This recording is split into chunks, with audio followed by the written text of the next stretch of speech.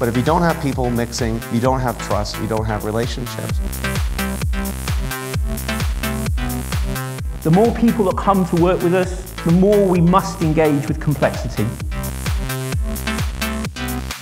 Let's have a campaign to celebrate the arts, with culture and communication at its heart. We should have a positive feedback loop between the arts and sciences. What I hope we'll have achieved is an understanding of how we can start to go into the background with the technology to let the art take its proper place. Education, community and participatory work are not an add-on. They should be at the heart of every arts organisation.